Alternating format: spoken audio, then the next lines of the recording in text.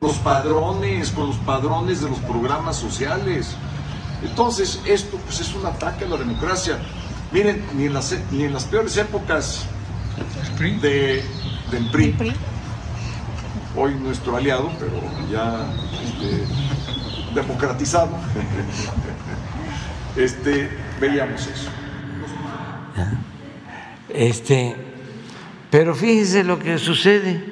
Estábamos hablando de eso. Y ayer este, sale un reportaje de la agrupación esta que yo llamo eh, México en favor de la corrupción, la de Claudio X González, en contra del presidente del PRI, de Moreno donde le sacan que compraba terrenos cuando era gobernador en Campeche, baratos, y que los vendía caro, y le sacan no sé cuántas propiedades,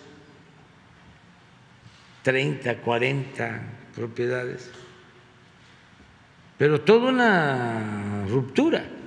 Claro, algunos este, dicen ¿Por qué esto no lo dieron a conocer antes de las elecciones? ¿Por qué se esperaron hasta ayer?